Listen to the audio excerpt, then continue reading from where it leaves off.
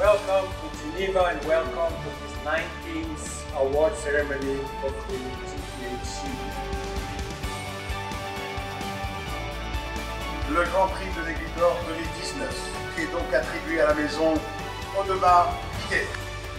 Ça fait 10 c'est le 19e Grand Prix de l'horlogerie. Il nous aura fallu donc attendre 19 ans pour être récompensé. Si je dois définir un peu la marque Audemars Piguet, c'est We Never Stand Still.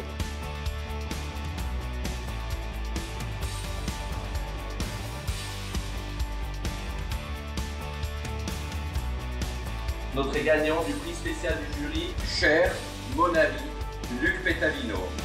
Je suis très ému par, par ce prix euh, parce que ça vient couronner beaucoup d'efforts.